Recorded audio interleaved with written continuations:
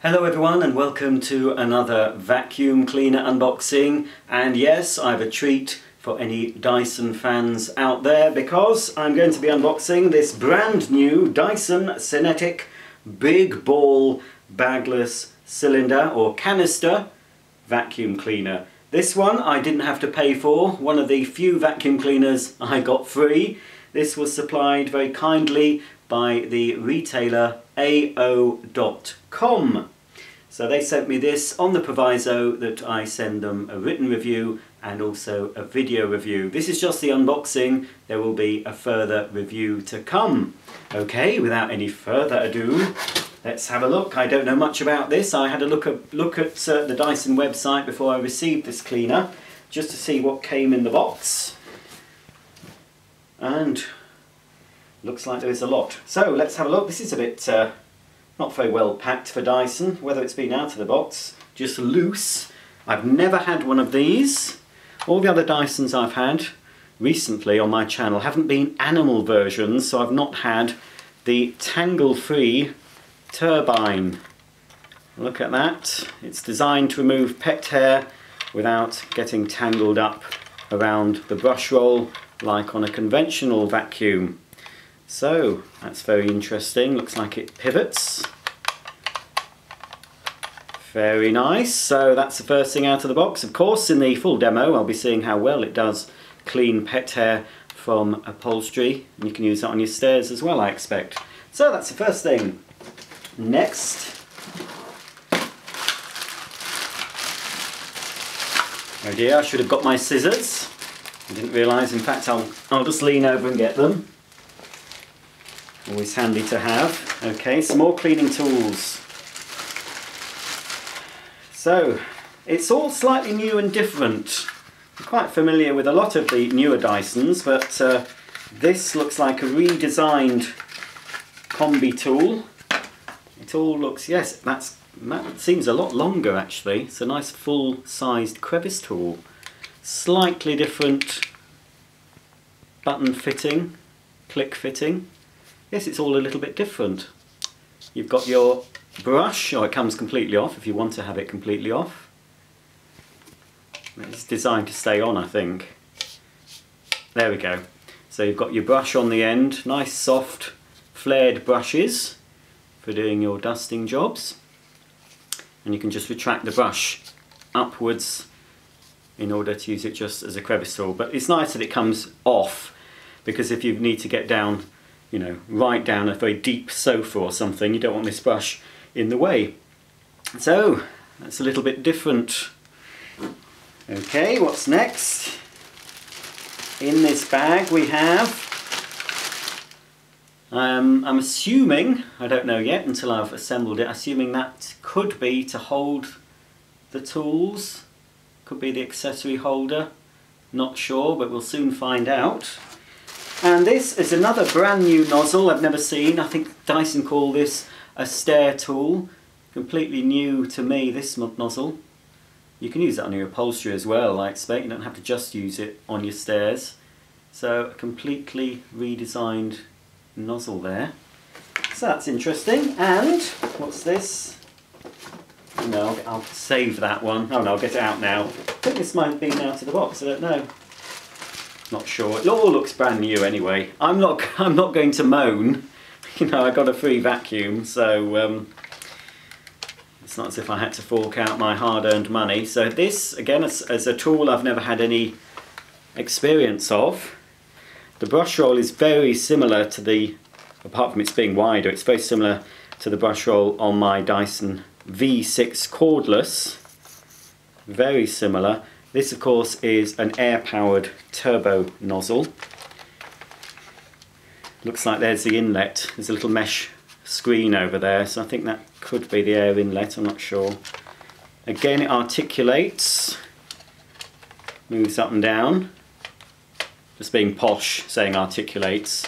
This is all articulates means, it just moves up and down and side to side and all which ways, you know. So, anyway, that is your articulating turbo tool. So again, in the full demo, we'll be seeing how effective that is. I think you can use on hard floors as well, but of course I will read the instruction book, which I haven't seen yet. Hopefully it's in there. Next out of the box, oh, some sort of a little adapter tool. Hmm, I'm wondering why we're having an adapter. So I've got some sort of adapter. It says quick release adapter, little instruction book. It could be, ah, it says here, congratulations on buying the latest Dyson technology. This adapter makes your new machine compatible with older Dyson tools and accessories. Just a little thank you from us. So, hmm, I've got a couple of older Dyson tools. I've got the uh, long dusting brush and the extra long crevice tool. So I will see if they fit this new Dyson. So that's what you get that for. So I suppose, well, it's only right that they should supply that if they've changed the fitting. It's a little bit annoying if you uh, buy a similar vacuum to one you've got and you find you can't use the tools. Now this is the contact head. I have experience of this head with my Dyson DC28C. There will be a link to a list of Dyson um, demos I've done on my channel. I'll put a playlist underneath the video and in the video if you want to check them out. But it, yes, that looks exactly the same. Apart from it could, all these look slightly different. The fittings have changed, which is uh, why obviously Dyson have provided the adapter. I didn't find the DC28C very good on pet hair with this standard tool. Obviously we've got the animal version now, so it should perform a lot better. Here we have the wand. It's still quite bulky, not, I don't think it's as bad as the wand I got with the DC28C, but it's still quite a thick, a thick wand. I'm assuming it's telescopic, there's a red button here. Yes. Yes, it, is, it seems a little bit slimmer than the earlier Dyson ones, but still, it's still quite, it's still quite fat. Anyway, it's all plastic, seems quite tough. There we go, so that is the extension wand. Oh, oh, few. Here is the instruction book. I'll just read out the energy labelling on this particular Dyson. So it gets an E. It's probably the only E vacuum cleaner I've um, recently opened and tested for energy, so it's a relatively high wattage. I think it's 1200 watts. I'll check that when I open the machine. So it's an E for energy. It uh, gets an A for dust emissions, so it should keep the dirt inside, apart from when you empty it of course, and then it'll fly out into the air. So best to empty it outside um, rather than inside your home. Only gets a D for carpet cleaning. Mm, not too good. Well, it's between A and G, so D. It's well, it's it's quite low really. A though for hard cleaning performance, 83 decibels, so possibly not the quietest vacuum cleaner. So I'll be looking at that instruction book in more detail, certainly before I do the demonstration. Think that's everything apart from the cleaner and the hose of course.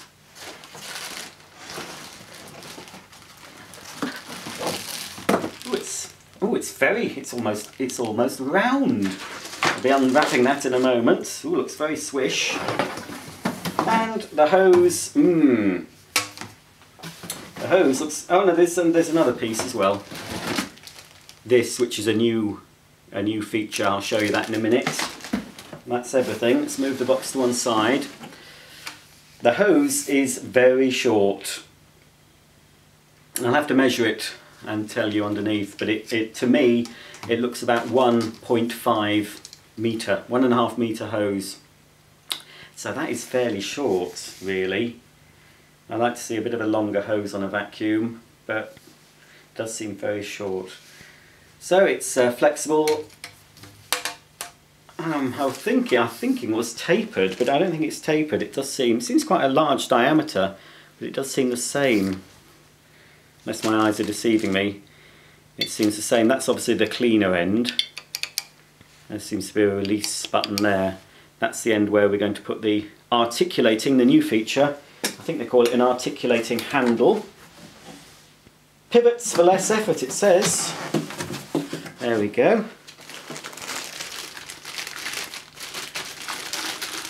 Let's have a look at the handle. Ooh, look at that.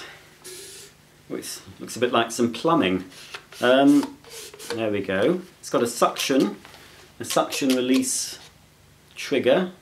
So if you just want to briefly reduce the suction for cleaning a lightweight rug or you're cleaning your curtains or some loose upholstery.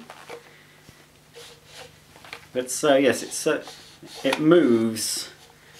It's more articulated, so it moves from side to side. Oh, and it completely moves up and down like that. So you'd put the hose on this end with Dyson's hopefully satisfying click. That's one thing I do like about Dysons, they have a nice satisfying click. Will this have a nice satisfying click? Let's find out. Yes, it's quite satisfying and it's on there nice and securely. That comes off.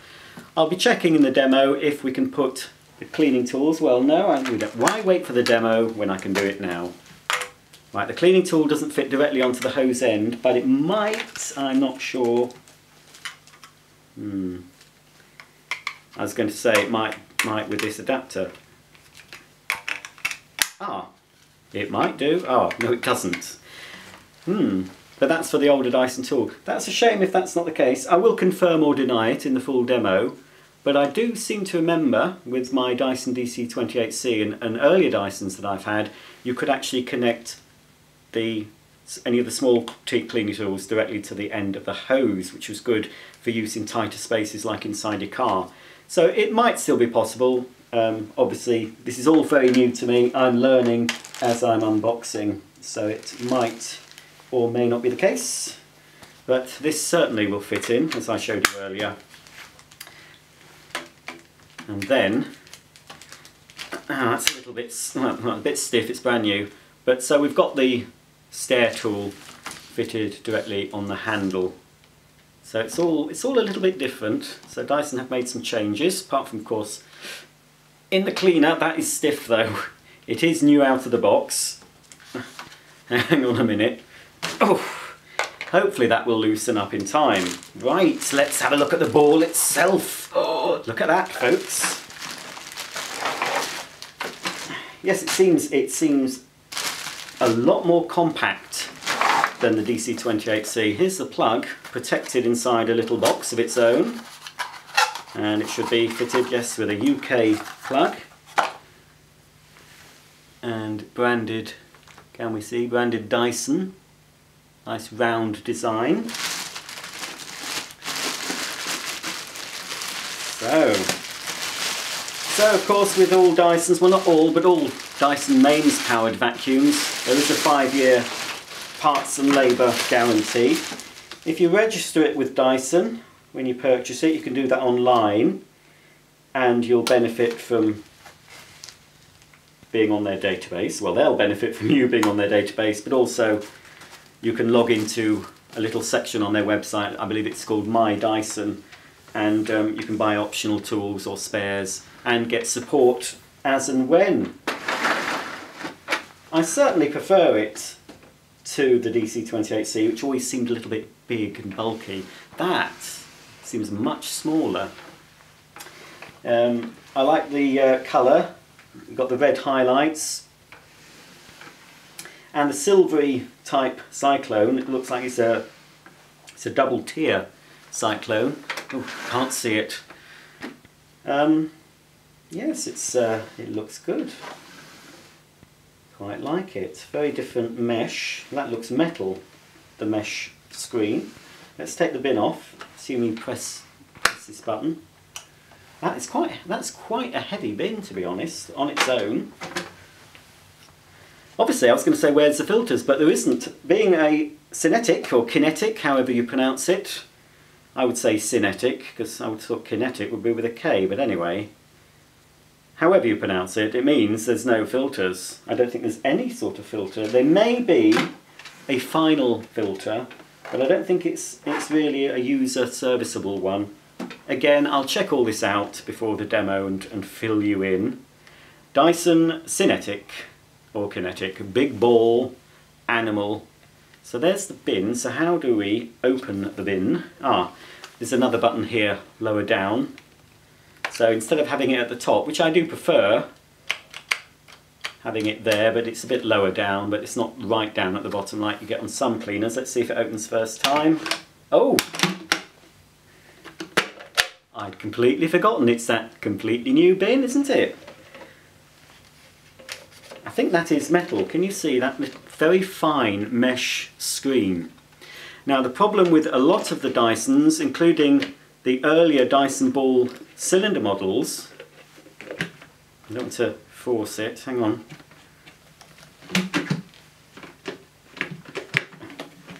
Anyway, as I was saying, oh it's got an instruction how to do it, it doesn't show how you close it again. Um, a problem, right, Perhaps I should have read the instructions beforehand, but I can't seem to close that now. What this does, anyway, a problem with the earlier, um, some of the earlier Dyson cylinders, a lot of the dirt got trapped around this part, especially pet hair. So you'd have to put your hand up to try and release it. And I believe even some versions came with a little brush that's stored on the unit. So you'd have to put this little brush up so Dyson have thought about this. They've also thought about this on their new V8 cordless machines. They have a similar type of bin emptying where the shroud is supposed to be wiped clean as you empty. Of course, I will be filling this up in the demo and we'll see if this feature works. But for the life of me, I'm not sure how, once I've got it open, oops, oh there we are, there we go. There'll be a way of doing it. Do, do, I do apologise. Obviously, if you get this machine, read the instructions. So I'll just show you that bin emptying again. So you press it, press it down, and as you can see, the whole container moves down. So even if this, this is easier to access anyway, if it does need to be cleaned, but as I say, it is supposed to wipe really, wipe it clean every time you empty. Then you'd press it again that's right, so it's a, it's a two, two stage. Press it once to lower the bin, to clean the shroud. Press the button again to actually open the door. Oh, that's it. That seems fine. It seems odd that there's no filter in this. I just think, right, where's the filter, where's the filter? Obviously, there isn't one. No filters, no bags, no nothing. But it does say there's a warning on the ball, which is basically apart from this bit sticking out at the bottom, it's basically a ball. Um, oh, they're smooth running. Oh, not so smooth. Listen to that. This one seemed a bit smoother. Not too bad. Um, yes, it says do not use on rubble, plaster or ash. So Dyson obviously have a problem with filtering out uh, debris like that. Um, you shouldn't be using, well you, you can't use a vacuum on hot ashes but there's no reason why you can't use it on cold ashes or plaster but plaster dust of course is very fine as and rubble, well that's not fine but that could damage the machine. If you're using it on general household dirt you shouldn't have a problem. I'll just confirm the wattage for you. Oh it's actually 1300 watts so that is quite high. In fact um, if we stay in the EU which UK are voting very soon whether to stay in the European Union or not. It was an EU directive that forced vacuum manufacturers to lower the wattage of their cleaners. So currently they can't produce vacuums over 1600 watts, so this falls under 1600. But in 2017, if we're still in the EU, um, that will lower to 900 watts. So next year, if this machine's still going, they'll have to produce a new version with a 900 or lower wattage motor. Here's the suction inlet, just at the top there. Two tiny wheels on the back. And you've got your on-off switch and of course your automatic flexi wind and part of the carry handle, you'd obviously carry the machine using the bin handle when the bin's actually attached. So all in all, that's everything to show you. I will turn it on briefly, but this is just the unboxing and first look. But I must say, I think it's quite dinky. I'm, I'm much like preferring this to the other Dyson. I've never got on, I've had a lot of Dyson machines. I've never liked any of the cylinder cleaners I've tested, or even before I was on YouTube, I had, I had machines before, and I didn't like them. I didn't find them very convenient. That's a nice smooth action. So maybe this machine will change my mind. There will be a red sticker coming up. You're not supposed to pull out beyond there, so I'll just rewind a little bit. And I'll plug it in, but let's uh, attach the hose first. But yes, it's not, it's not a light cleaner, I won't lie to you. It's quite a hefty machine. It is compact though. So let's see where we put the hose. Ah, the hose, as you can see, fits underneath. There we go, there it is. And this is obviously the side we pop the hose into, so it's just a case of pushing it until another satisfying click, hopefully. Lovely. Got to love the click. So that's in securely, and it swivels, which is good. But to release it, in case you get a blockage, you just press on the red lever there and it easily comes off. I believe there was complaints about some of the Dyson canisters in the past had quite a narrow path, although this one, no, it seems a lot better. I'm sure the Dyson engineers know about the problems they have with existing or previous products and they do something to change them. So it seems that Dyson have made some changes to this brand new big ball animal cleaner. Hopefully they're changes for the better. So, oh, another lovely click putting in the mm, turbine. I was going to say motorised, it's not motorised, it's a carbon fibre turbine. Unfortunately Dyson don't do any motorized cylinder cleaners with a, an electric motor in. They did a motor, a couple of Motorhead, no it's not the heavy metal band, but they did a couple of Motorhead vacuums in the past. But um, they don't, not even in America where they like their powered head canister cleaners, they don't seem to. Perhaps they will at some point, especially if this machine comes out with a less than 900 watt motor and they want to improve the performance, they may, who knows, they may be considering a powerhead version of this. It may even be on the drawing board as we speak or all designed and ready to be launched. Who knows? I know nothing. I'm not privy to Mr. Dyson's secrets. There we go. I must say, oh, that goes very high. Let me just do that. Ooh. If you're very tall, you won't be stooping with this cleaner. I'm not that tall, so I'm going to have to lower that. It's too much for me. That's about a nice height for me. Yep. So it's manageable. Right. I think, I think I think I like it so far, but I've not even plugged it in. So I'll do that right now and we'll give this Dyson Big Ball Animal just a quick go of the carpet and of course stay tuned because I'll be doing a full demo very soon. Before I switch on I'd just like to show you that you can indeed attach the tools directly to the hose end. That's good to know. Uh, I had a quick look at the instruction book while I was pausing the camera and as you can see the tool fits directly on so that's ideal as I said to inside your car so if that tool fits on I'm assuming that every other tool supplied yes you've got the tangle free turbine that also fits on and I'll show you anyway but uh, I'm sure it will yes the crevice tool so, as I said, ideal for the car because you've got a little bit more manoeuvrability in a tighter space. Okie dokie. Let's now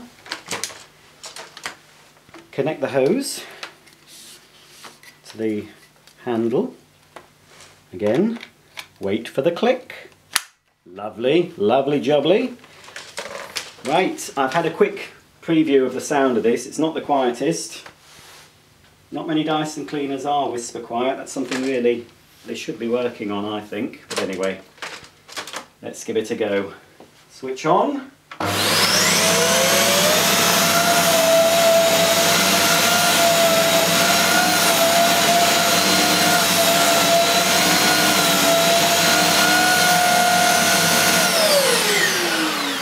The head is easy to push, certainly the turbine head is far easier to push than the, the straight suction nozzle. Um, yeah, seems easy. Let's see if it does. This machine is supposed to not topple over, or if it does, it's supposed to be like a Weeble. Weebles wobble, but they don't fall down, if you remember the old ads. Well, this might fall down, but it is supposed to right itself in this confined space where I'm filming. It's a bit tricky to show you, but let's see if we can do it. Well, it's going to fall over. Fall over, Daniel. It doesn't want, it doesn't want to fall over. Okay, we'll try again. Trying to make it fall over. Right, there we go. Oh, no! well, it does seem to stay upright. If it does, it's very hard to get it actually to tip over. During normal use, it really shouldn't happen. I'm being a bit rough with it. There we, there we go, it's pirouetting. So that it does seem, yes, it does seem to self-right. So, that's a feature that seems to work. Before I go, one final shot, I'll just put a little bit of dirt down on the carpet, just to give it a very brief performance test, not on pet air, but just on some general dirt. And then please subscribe if you don't already, because I will be doing very shortly a review of this. I'll be doing a shorter review for AO.com, but after I've done the short review I'll be doing one of my more in-depth reviews but the short review should show you what you need to know if you want to buy this. So as a last parting shot I'll put some dirt down on the carpet and we'll see how effective this new Dyson is at removing it. Right then I've just put a little bit of dirt down for an initial test. There's some dust and pet hairs and other bits and pieces mixed in. Let's see how well this Dyson Big Ball Animal does at removing this dirt.